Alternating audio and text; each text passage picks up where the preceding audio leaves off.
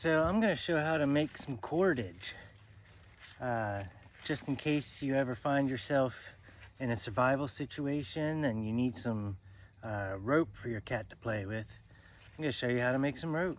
I made a video on this before, so I'm just going to do this real quick in case people missed it. But this is milkweed, common milkweed plant. Typically you want to do this after the monarchs are done with it. Make sure there aren't any monarch eggs or anything on it, anything like that.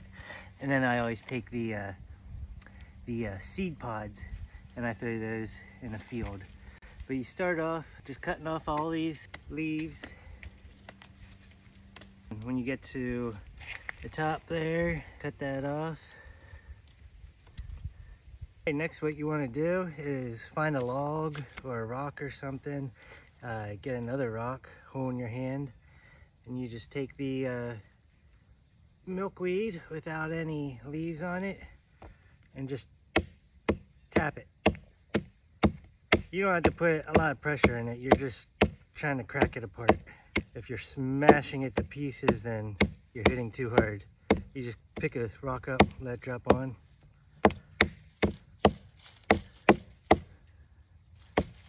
Now it's split. You can rub your finger in there and split it down. And then you take it and you just bend it. And the stuff that breaks on the inside, you can just pull out. Grab what's left, pull it down, and the rest of the stuff will stick up. Just grab it. And spread it apart. Now you have all your strands. Depending on how thick you want your rope, you can either leave it thick or you can just pull these apart.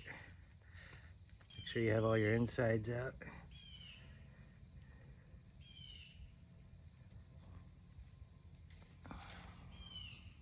when you get all your plants split and stripped apart, uh, you want to leave this sit out for several hours or for a day or so uh, to dry out. But for purposes of getting this video done, I'm just to go ahead and start with this as it is. Now you want to find a, a nail or a stick or something to start wrapping it around. And you take your strands and you get several of them. I like to have small ropes, I'm pulling these apart. I've got at least three strands here. Put it around and make one end longer than the other. That'll help when you add more.